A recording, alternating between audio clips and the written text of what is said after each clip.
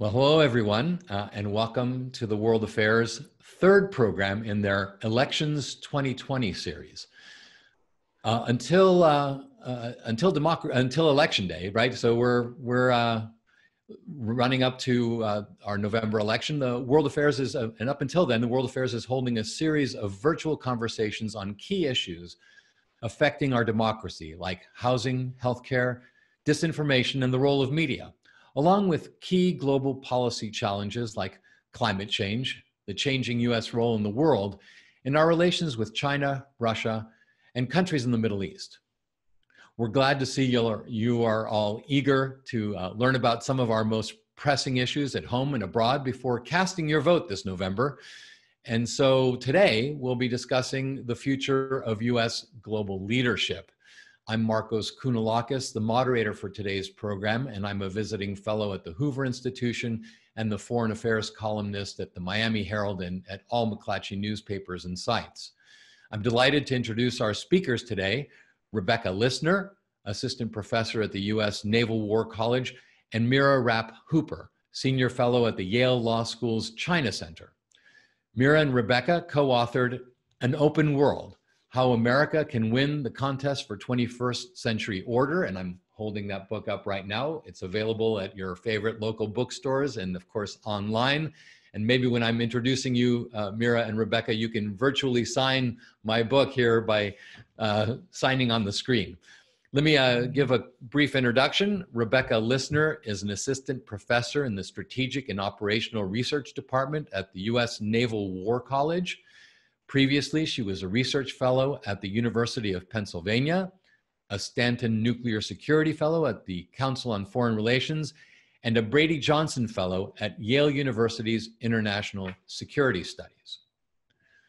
Mira Rapp Hooper is a senior research scholar in law at Yale Law School, as well as a senior fellow at Yale's Paul Tsai China Center.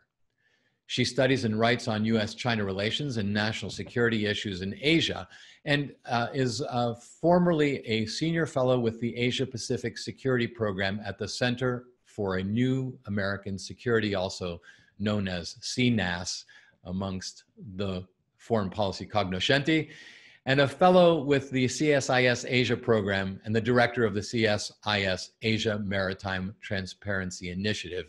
As you can see, the uh, qualifications and the credentials are quite extensive and deep. And so I'd like to welcome you both. And we're glad you who are here with the World Affairs Organization are glad and happy to you could join us. So welcome. Thanks so much, Markos. It's great to be with you. And thanks to the World Affairs Council for having us. Great. And Rebecca, I should also mention as someone who's a local, uh, she was brought up in the San Francisco Bay Area and is quite familiar with both the broadcasts that we do in the Bay Area and also with the World Affairs Organization. So let me ask and start out by asking uh, why this book? Why now? Uh, and and whose idea was this? Rebecca, you you did you just sort of pick up the phone and say to Mira, you know, we need to change the grand strategy of the United States. You got a few minutes? So first of all, thank you so much for having us here for this event, and thank you to Markos for moderating. And our book argues that the US has the opportunity to reimagine its foreign policy for a post pandemic and potentially post Trump world before it is too late.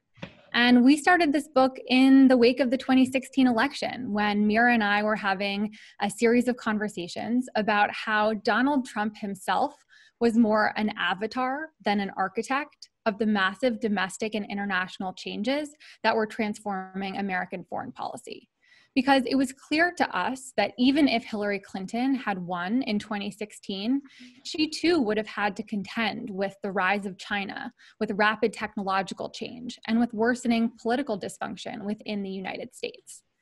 And while Donald Trump's presidency has demonstrably worsened America's global standing, it's not solely responsible for the collapse of American influence overseas and the failures of international cooperation that we're seeing. So, to build back better after both the coronavirus pandemic and potentially a Trump presidency, the US obviously needs a new approach, one that is both disciplined and globally engaged and sets out to defend an open world. Right. And so how did it come about? You you both recognized this and you happen to know each other through uh, some previous work and you decided, well, we're going to create this roadmap for uh, either a second Trump administration or a future Biden-Harris administration. I guess we didn't know who the uh, who the candidate was going to be on the Democratic side when you started writing this, but but clearly uh, something Im, Im, you know uh, impelled you towards doing this.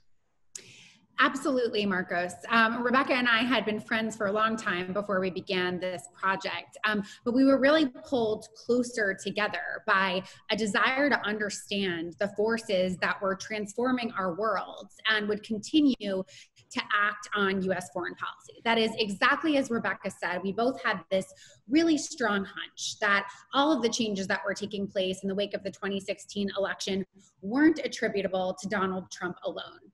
And we also had a strong sense that the United States probably wouldn't be able to recoup its former position atop the geopolitical world, even if Donald Trump left office after four years. We had a sense that there were a set of forces both within the United States and in the world more broadly that were reshaping us and our foreign policy altogether. And so we what we really set out to do was figure out how to map those forces through a multi-year research project that would ultimately tell us more about the world that the United States would face come 2020. So that's what we set out to do in this project. Ultimately, it led to a book. And in many ways, it also led to a set of conclusions that now seem all too obvious the fact that the international order, that is the system of rules and norms that have long governed international politics as we know it, is deeply broken. And that this had happened long before the pandemic ever seized us.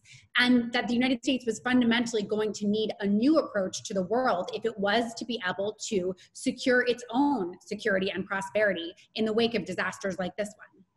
Right. So those conditions you lay out in the book, and it's obviously for the United States to recognize that it's no longer in what was referred to as a unipolar moment in the post Cold War period, that there is, and of course, both of you are quite fluent in this, uh, a rising China uh, that is both more assertive and more prominent, both regionally and globally. And so you, you look at the multivarious factors that are uh, currently uh, applying pressure on the existing system and order and you say, look, let's take a step back and what do we need to do?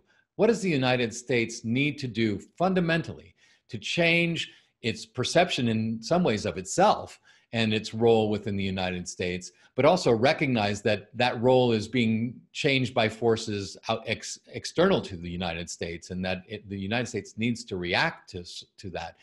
Uh, the fundamental change that you bring up, and it's in the title of your book, is that the United States has to move towards this openness uh, that uh, that I'll let you describe a bit more, and and either of you, uh, you're welcome to uh, to respond to that.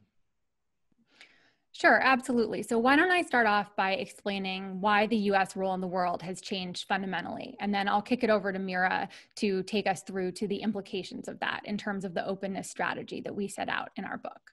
So, exactly as you said, Markos, Put simply, the rise of China means that the US is no longer the world's unrivaled superpower. But American foreign policy has not adapted to this new position. Over the past several decades, China has experienced meteoric economic growth. It now has the largest GDP in the world by some measures, and its military has expanded in parallel. And while China rose within a system that was dominated by the United States, it now seeks to rewrite the rules of international politics in a way that befits its own growing power and also its authoritarian preferences. So these realities have created a new condition of geopolitics that are often referred to as great power competition the US now needs to contend with a powerful rival in China that can not only compete with the US militarily in Asia, but will also challenge the US economically, commercially, and technologically around the world. But even so, we recognize in the book that the US remains incredibly powerful. We have an unrivaled system of alliances, a dominant dollar, a strong domestic innovation base, and a still very mighty military. So the US still can protect its interests and its values in a world of great power competition if it adopts the right strategy. Right. and I'll pick up where Rebecca has just left things, Markos, if I may, and that is what is the right strategy? Um, well, in our book, we're advocating for a strategy that we call openness. And an openness strategy is a new foreign policy vision that will allow the United States to defend its interests and its values, even though it is no longer the world's unrivaled superpower. This strategy recognizes that Washington can only stay safe, secure, and prosperous if the world stays open. So, what does that mean? That means three key things as we see it. First, that all states should be able to make free and independent political choices without foreign interference or coercion in their domestic decision making process or without domination by a more powerful nation like China. Second, international waterways and airspace must remain open and accessible for commercial and military traffic. That means countries like China should not be allowed to cl- close off waterways like the South China Sea. And third, global cooperation should be allowed to proceed through international institutions that are governed transparently and are modernized to deal with 21st century challenges like governing the internet or cyberspace. And to realize all three of these pillars of an open world, the United States importantly does not need to dominate every area. Rather, it needs to be able to prevent other countries from doing the same, while with like-minded allies and partners to build a powerful coalition that will ultimately support this global openness. Right. So, uh, Mira, if I could pick up, it, it seems that uh, what you just described of those three points, two of them are actually being pursued quite actively by the Trump administration. Certainly, sovereignty in many ways can be argued to be the Trump uh, doctrine uh, that countries uh, can do what they like and should feel free to do. In fact, they should pursue their own interests. That was the theme of his United Nations General Assembly speech. And secondarily, uh, the Trump administration seems also to be advocating for free air and water uh, flow, whether it's uh, freedom of navigation within the open seas or otherwise. But maybe on the third one, on multilateralism, we have a, gra- a grave di- divergence from what the Trump administration uh, uh, seeks and has pursued. It really has been an administration of bilateralism rather than multilateralism. So, is this uh, analysis and this orientation towards openness in part a rebuke to the Trump administration, or is it, uh, or are you thinking about something else? So, an openness strategy departs from the Trump administration's America First worldview in several fundamental ways. So, first, where Donald Trump has resisted international cooperation and withdrawn from international agreements like the Paris Climate Accord, an openness strategy seeks to build a new architecture of international cooperation for the 21st century. That means working hard to reform outdated institutions like the UN Security Council or the WTO but it also means rallying like minded allies and partners to write new rules and build new cooperative frameworks to address modern challenges, especially in the area of emerging technologies where few global guidelines exist. Second, where Donald Trump's administration has pursued a militarized approach to American foreign policy with nearly 200,000 troops deployed overseas and frequent threats to use military force against our global adversaries. An openness strategy makes diplomacy the leading instrument of American foreign policy. And that means recognizing that the future of international competition is not going to be primarily military in nature, and investing in revitalizing a State Department that can make diplomacy the center of Americans' foreign presence. And third, where the Trump administration has degraded America's capacity at home by stoking domestic divisions and, in many ways, bungling our response to COVID, an openness strategy recognizes the profound interconnection between America's domestic strength and its global leadership. It therefore calls for an effective nationally integrated COVID response, for restoration of the integrity of American democracy, and also seeks to build consensus around a reimagined vision of America's role in the world. Markos, if I can chime in, um, I'd love to just elaborate on the terrific uh, points that Rebecca made um, to further answer your question, which is Does this really depart from the Trump administration strategy um, on, on some of these key issues. You mentioned the fact that the Trump administration supports international sovereignty, um, or the fact that it may be in favor of keeping the global commons open. But exactly as Rebecca has just indicated, without an approach to international order that seeks to work with allies, multilateral institutions, and agreements, it's actually nearly impossible to do those other two goals and to execute them faithfully. That is to say that in instances where China has used coercion to try to bully states in its neighborhood or elsewhere in the world, the United States has generally not aligned with them to help them stand up to Chinese pressure, but rather has preferred to use sovereignty as an excuse to disengage and pull back from the world and key international agreements. And while the United States nominally still stands for principles like freedom of navigation, in reality, it hasn't worked with allies and partners in Southeast Asia to help keep keep the South China Sea open. So while it may be true on paper that the Trump administration nominally supports political independence or open global commons, the reality is that with power shifting against the United States, these goals can really only be accomplished if it works with allies, partners, and through multilateral institutions, because without them all, the geopolitical math does not favor us.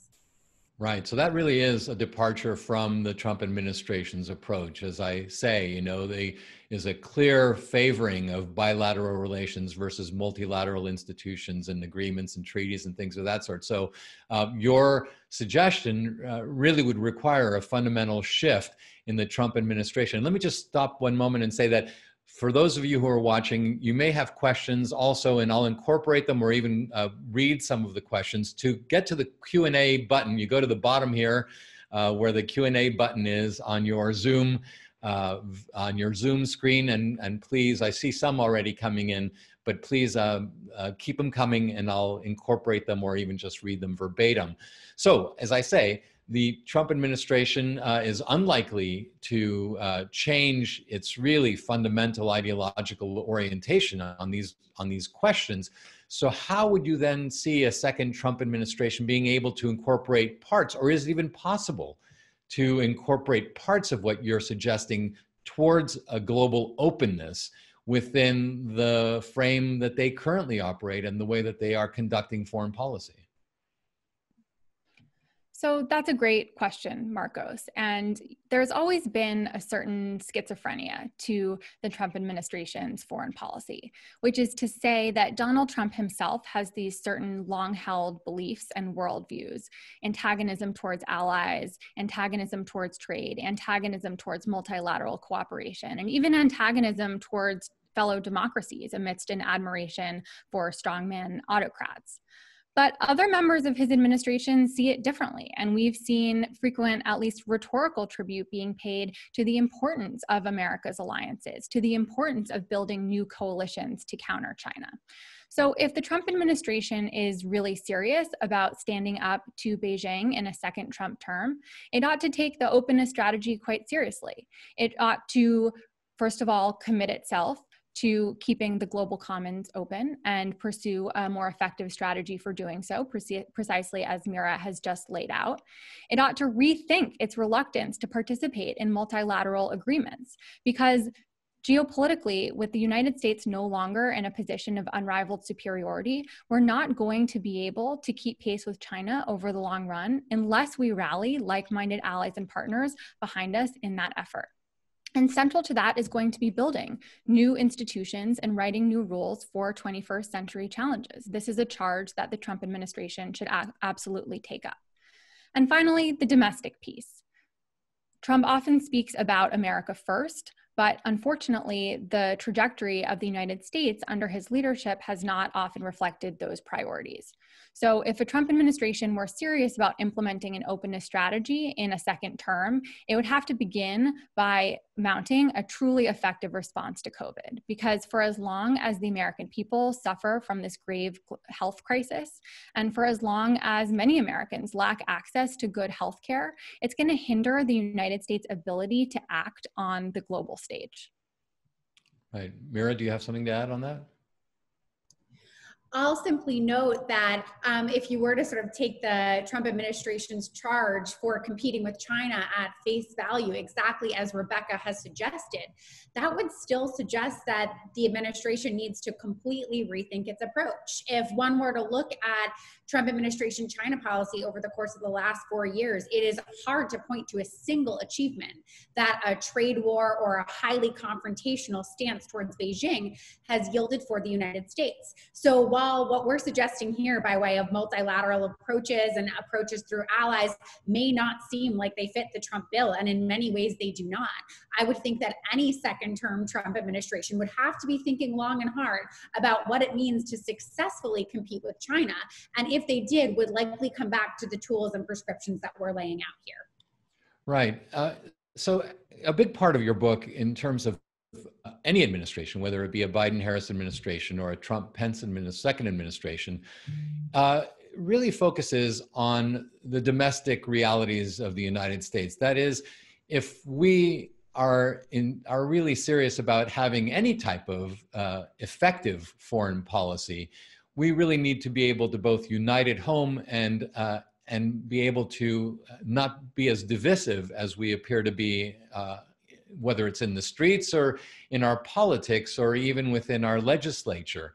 That that a good part of uh, being able to have an effective foreign policy is having a strong base of support, understanding, and uh, and desire on the part of our citizenry here in the United States. In fact, this is something that uh, General James Mattis agrees with uh, dramatically as he thinks about how do we build a strong national security structure for the United States.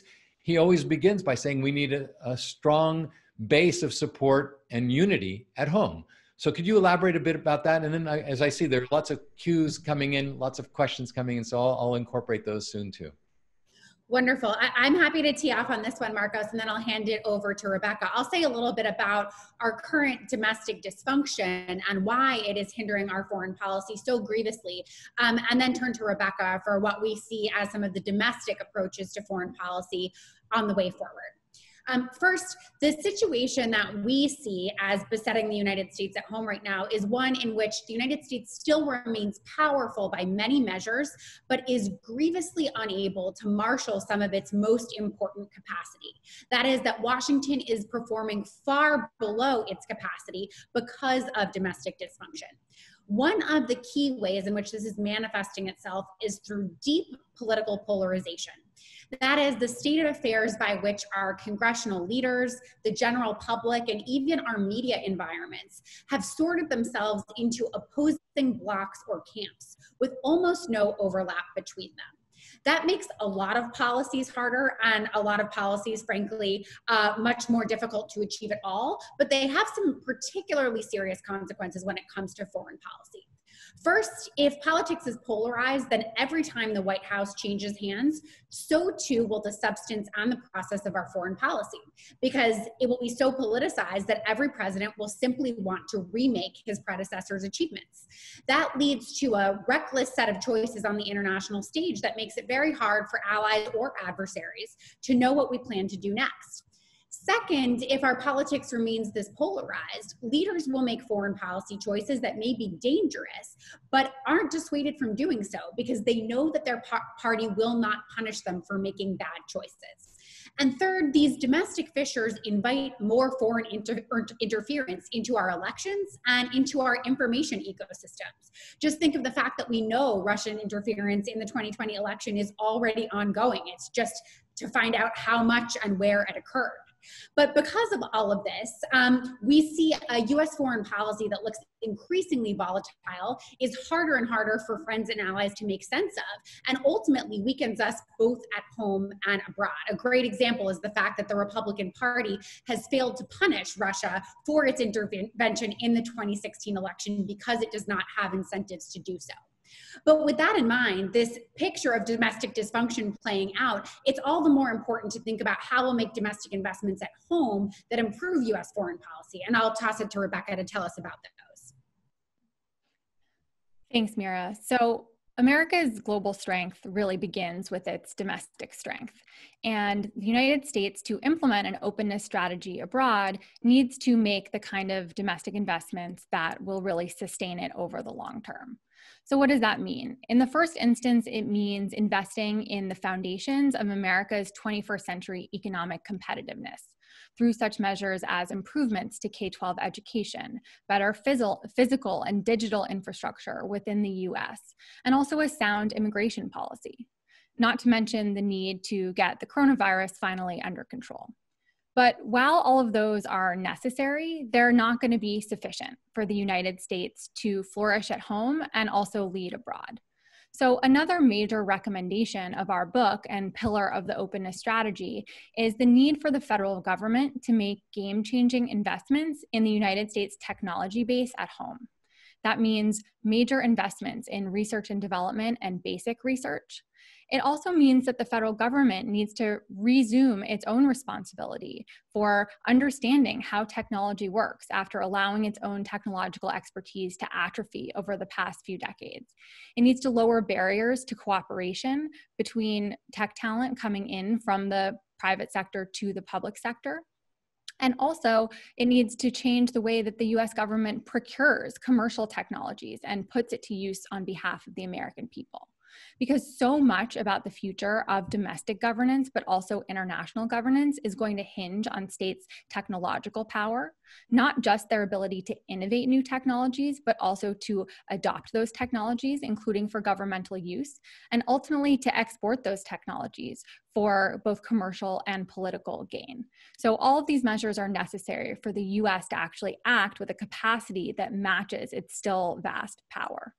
Well, let me pick up on that because uh, I'm in California and I spend a fair amount of time in and around the Silicon Valley, even worked in the Silicon Valley for a fair amount of time. And I think it's fair to say that there's a strong libertarian strain within the culture of those who are in the corporate structures of the Silicon Valley. And what you're asking is that there be not just a cooperation, but actually a collaboration between the U.S. government and these uh, these industrial leaders, these technology innovators, and these multinational, multi uh, powerful, uh, really in many ways independent nation state type organizations, to ask them to take on uh, an active patriotic role in this uh, in this new environment that you're advocating for? How do you foresee doing that when what we're seeing at least from the silicon valley perspective is an an allergy towards uh, governmental structures and from the government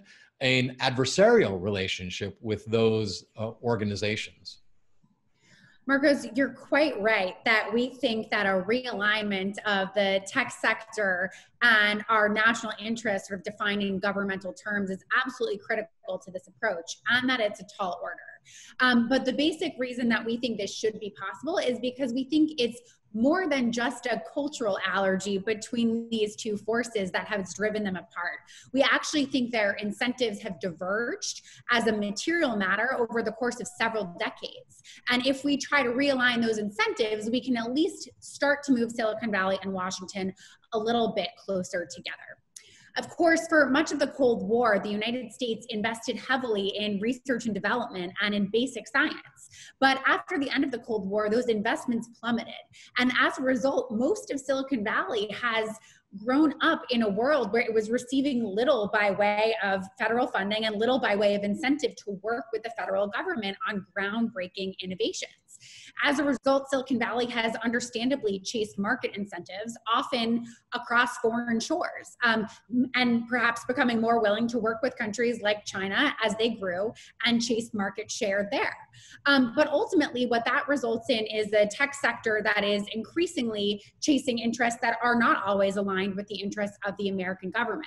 That deprives the government itself of talent, that deprives the tech sector of the ability to work with Washington on potentially lucrative contracts. And it increasingly pushes us towards a world in which the tech sector may become regulated under heavy burdens that it ultimately opposes.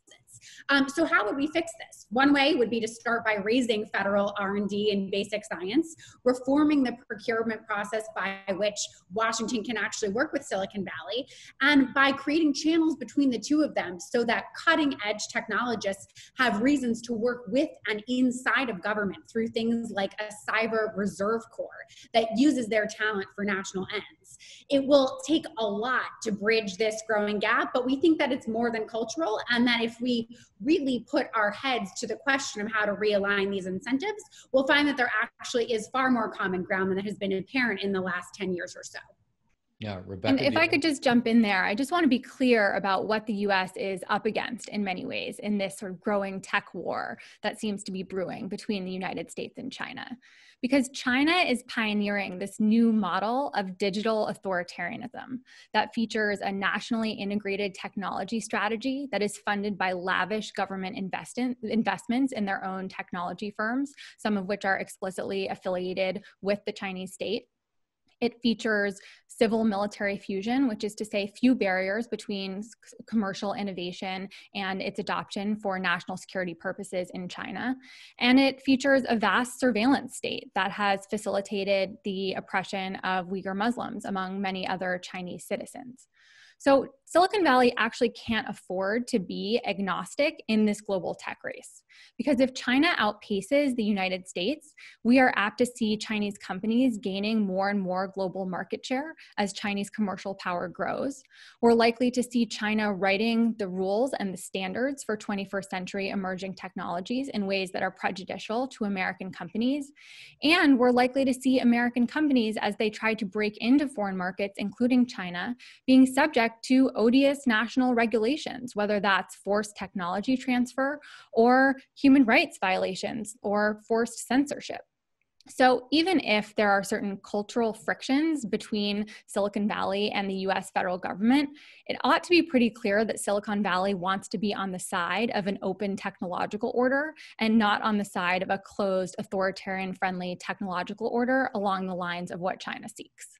Right. Uh, let me jump to some of the other questions that are coming in here. And it really is a, a there's an orientation towards your concept of openness, uh, global openness, and, and the strategy of openness.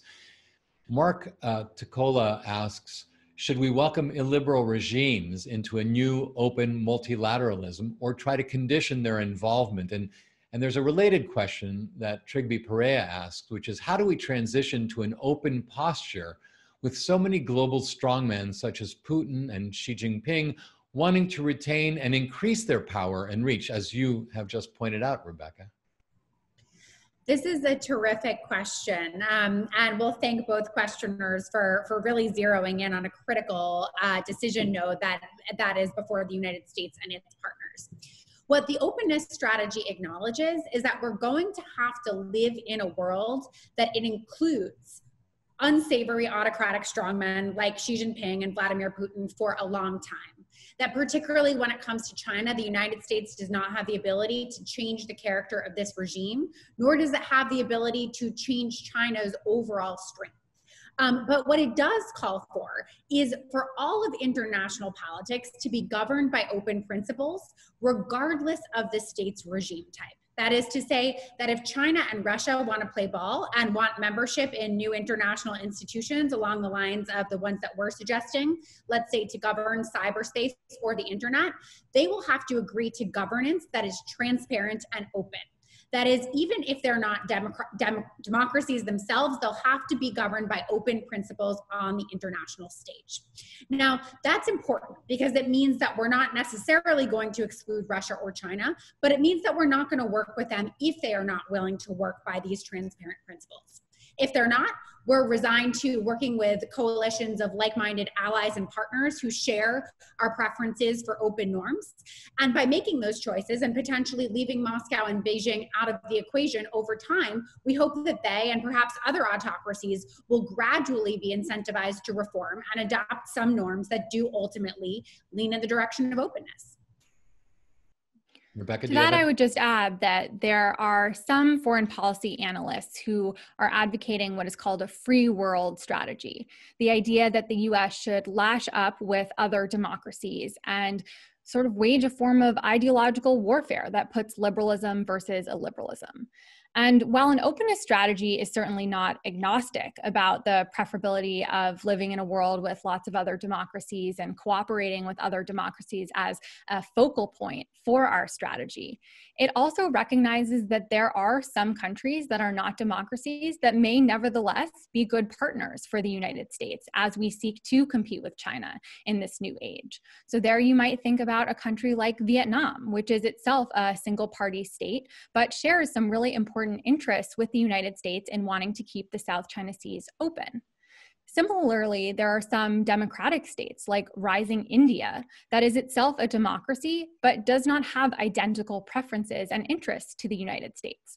While it shares some of our interests, for example, in keeping the Indian Ocean region open and pushing back against China's uh, encroachment therein, India also has propagated long-standing uh, internet shutdowns, for example, in Kashmir, in a way that aligns it much more with a Chinese-led idea of cyber sovereignty that could lead to a global splinter net.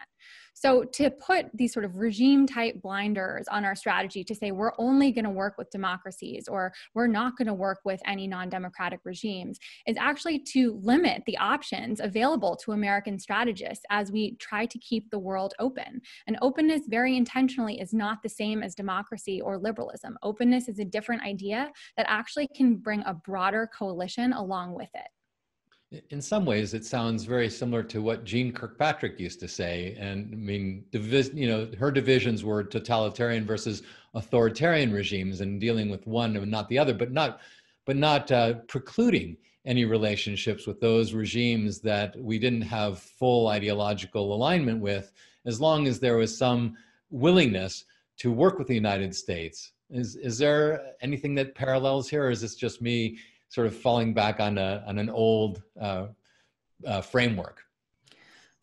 Well, I think we probably would hesitate to echo a framework that was developed for the Cold War because we do see the dynamics um, astride the global stage now is fundamentally different from that. Whereas um, the US and the Soviet Union were locked in something on the order of a bipolar conflict that is a competition that sorted the world into two blocks.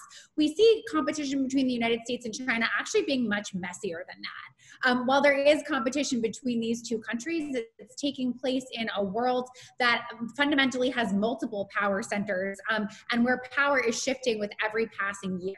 Um, so the key thing, Markos, that I think you've got right here is the fact that we are uh, not resigning ourselves to discard any potential partner so long as they are willing to work by the principles of openness on the international stage.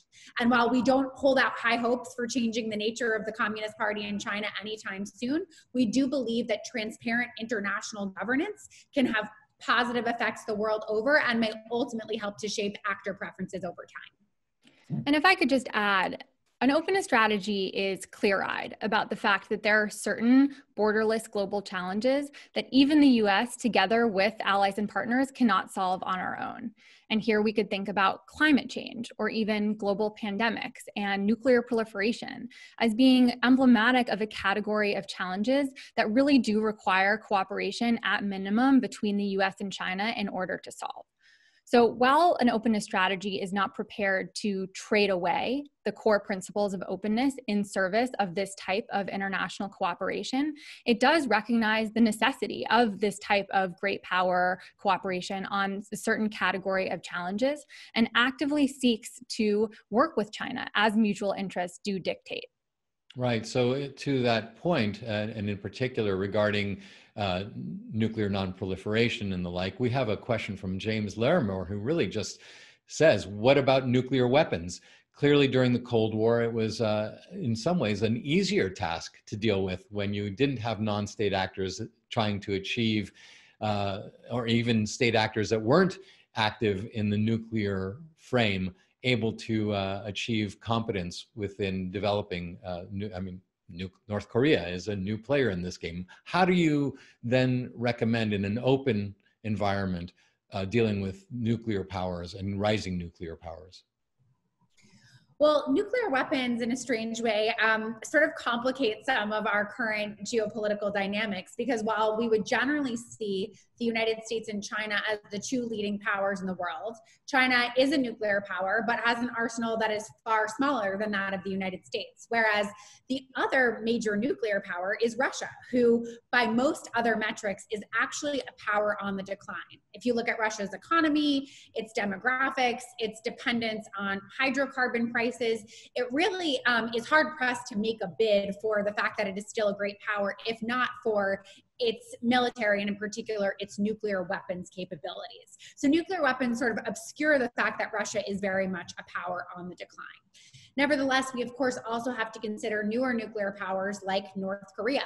And their openness really seeks to contain the worst of the reach of these new nuclear powers. That is, openness suggests that we should be working energetically with allies and frankly non-allies like China to try to make sure that North Korea does not use its nuclear weapons um, through deterrence and defense does not proliferate them, and ultimately is pushed towards arms control so that it is willing to place limits on the numbers of weapons and delivery systems that it has.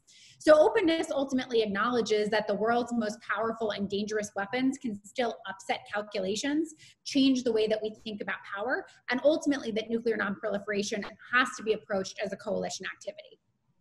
Right. Well, uh, Robert Winter says, I sure hope some of Biden's folks are listening. Elements for Biden's comebacks in next week's debate is how he frames it. Are there things that you would uh, whisper into Joe Biden's ear uh, as he prepares for this debate and, and contrasts that he can plan for uh, I, as, that you've laid out in the book?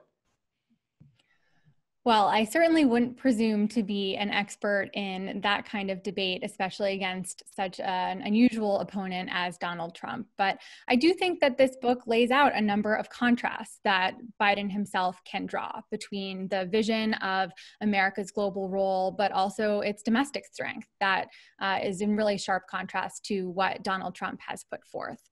And there I would uh, evoke a phrase that we use in our book, but that has also incidentally become a slogan of the Biden campaign, which is build back better. And the United States at this moment confronts what is probably the greatest geopolitical crossroads that it has faced since 1991, if not since 1945, with the end of World War II. And there lies a tremendous moment of opportunity. But that window of opportunity is fleeting and it's also closing.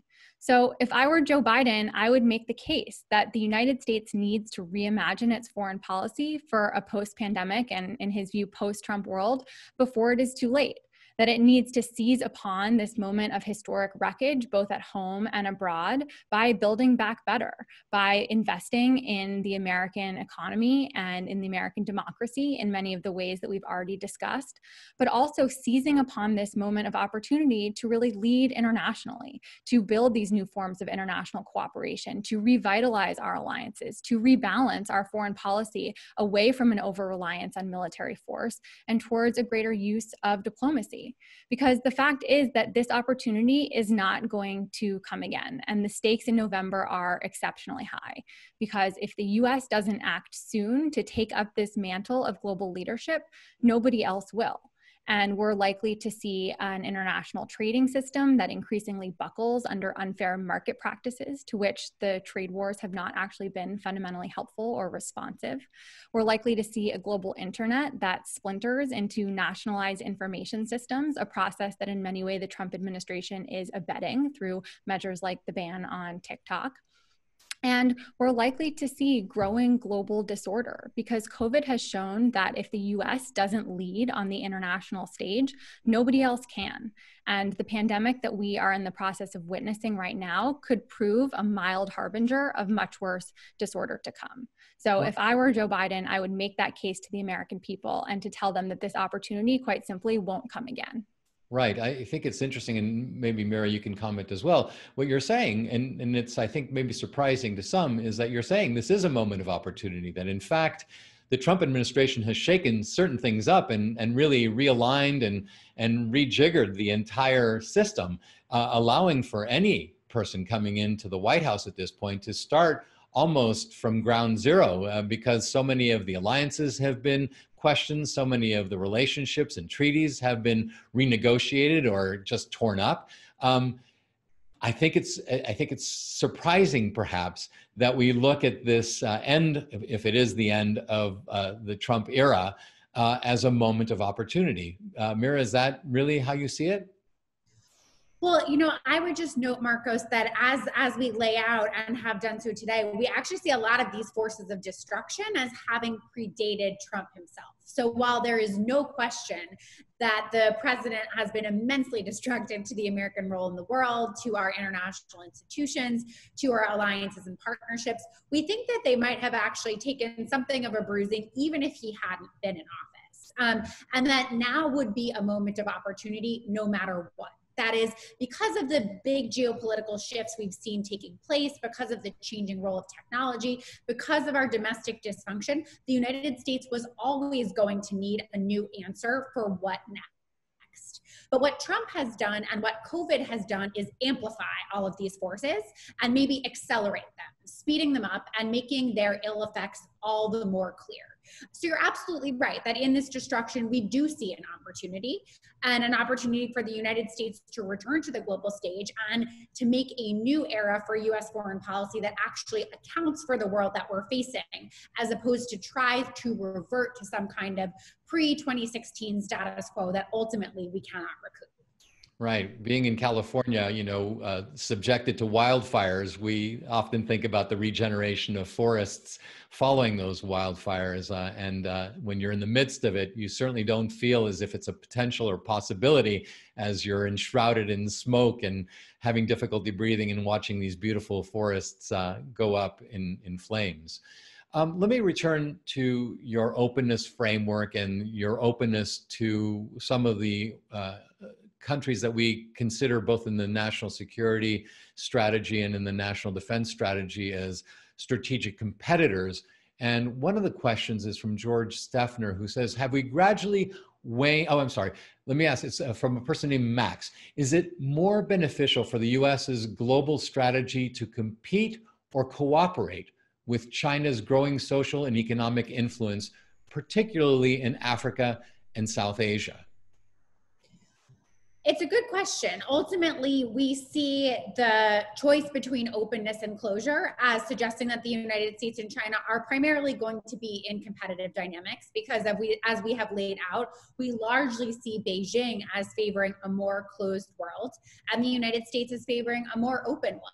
But what Max has aptly touched upon is the fact that where China's power and influence does not beget closure, that is, where China is not trying to dominate other countries, where it is not trying to dominate uh, the global commons or close off technological spaces, there might be some possibility of the United States and China working together. Um, Rebecca has already pointed to a few areas where that is possible, um, and that is on areas like climate change and on global pandemics and perhaps rebuilding the economy. Um, but what Max suggests is that perhaps the United States could adopt a different strategy towards China on other continents, like in Africa or Latin America. What we what we would say to that is that if China is willing to govern its Belt and Road Initiative, that is its international infrastructure projects, which has brought it to Africa and Latin America, if it's willing to govern BRI by transparent and open principles and create institutions that allow others in and allow consistent governance for international development, then we would be willing to work with China. And indeed, we would see cooperation as being in everyone's interest. But where China continues to press its power and influence through closed measures by pursuing development norms and projects that ultimately are inscrutable to the outside world and place coercive pressure on countries to work with China no matter whether or not it loads them with debt, we oppose those policies and we call for pushing China towards openness. Right. Okay.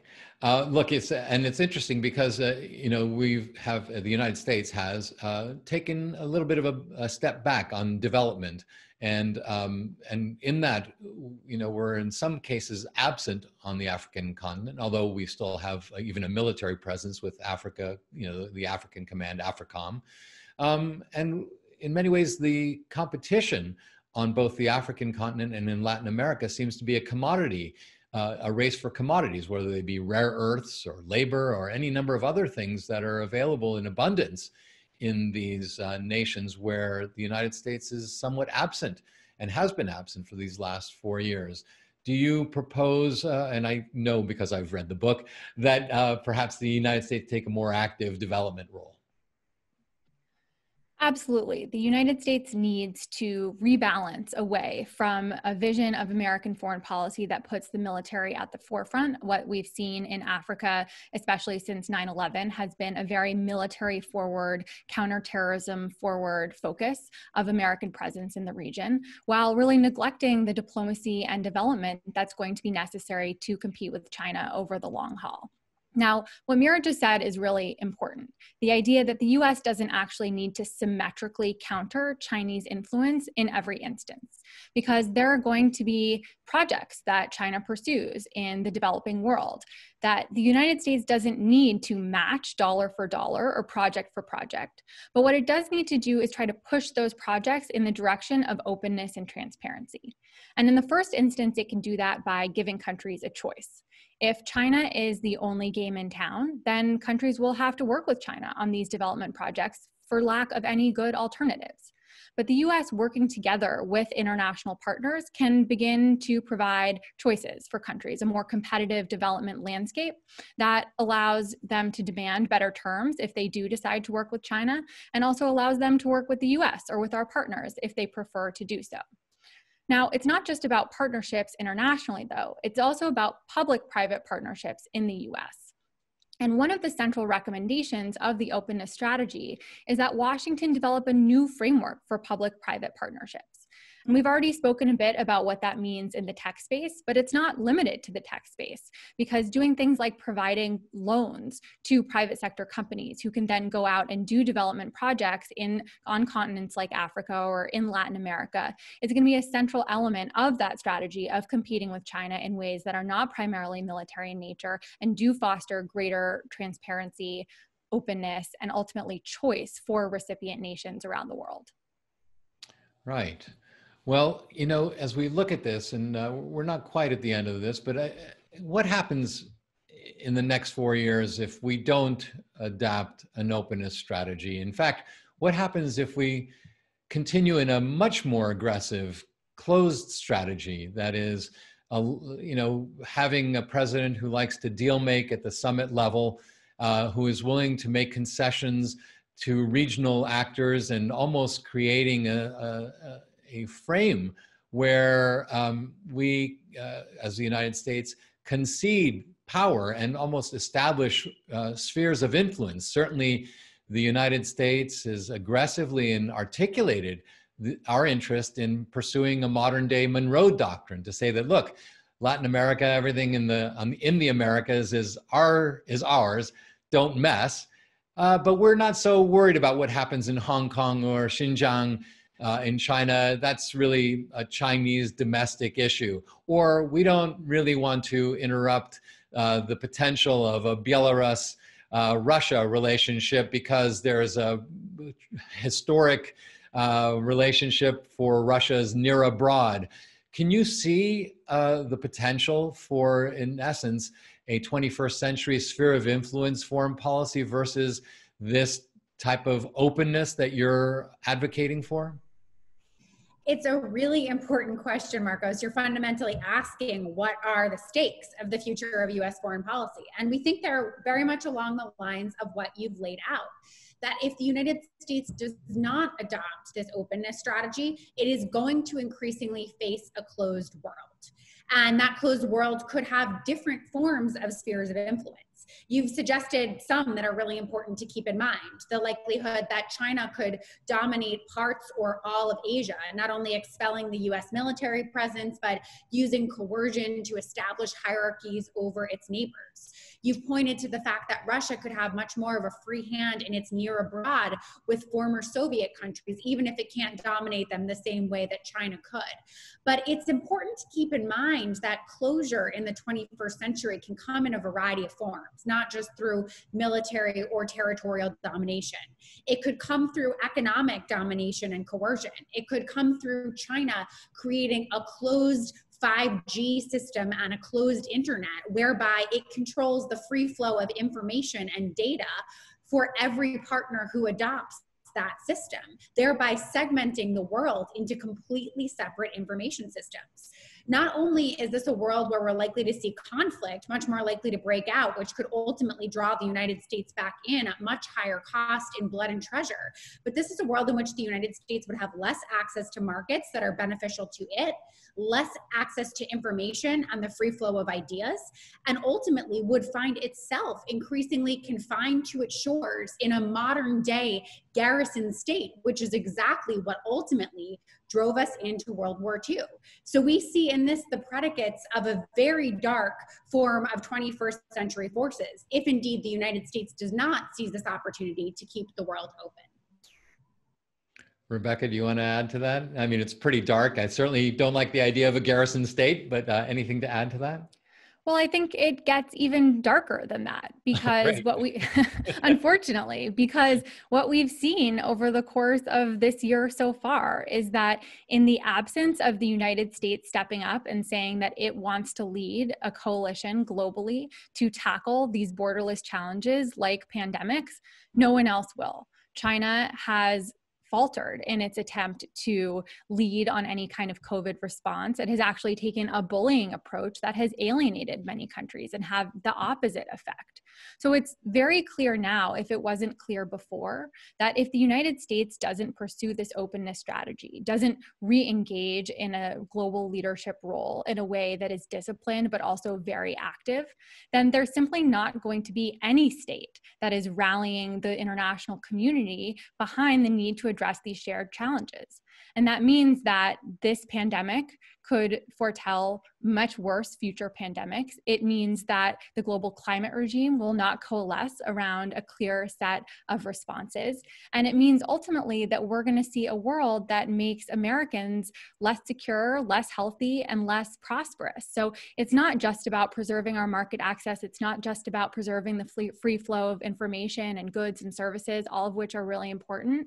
It's about leading a global coalition that can address upstream those challenges that might start abroad, but they don't stay there. And the US is quite simply the only country in the world that can lead in that effort. Well, thank you, Mira Rapp Hooper and Rebecca Lissner. We're glad you could join us today to talk about this incredibly important issue and your new book, which I will hold up yet again An Open World, available for virtual signing, perhaps. Uh, but please go to your uh, local bookstore uh, in a socially distanced and uh, safe way or order online.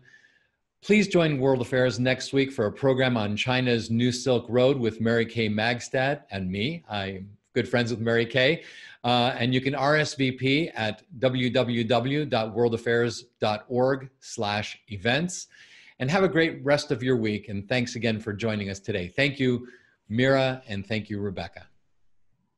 Thank you so much. It was really a pleasure. Great to be here.